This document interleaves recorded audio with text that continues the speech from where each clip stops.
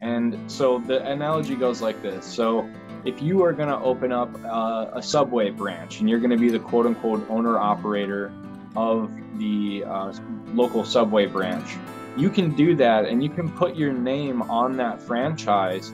But if you uh, don't follow every single subway bylaw and the franchise finds out about it, they can take the entire company out from underneath you. And so, what the legal person is, it, it is a corporation, a business that is founded with the, the incorporating documents of your social security number and your birth certificate. And it's literally the same thing as opening a local franchise of the corporate government.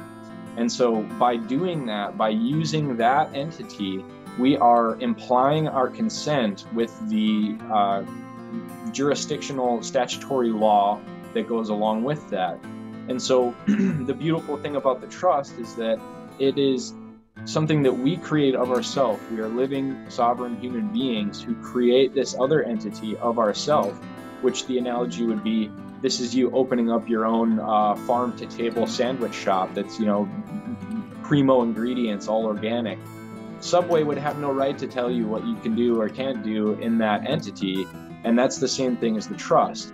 It is completely separate from the statutory rules and regulations of, you know, Subway, the corporate government and uh, it allows you to have full freedom and full control over what you're doing without implying consent to the tax liabilities, to the statutory codes that uh, you know are ever increasing every single day.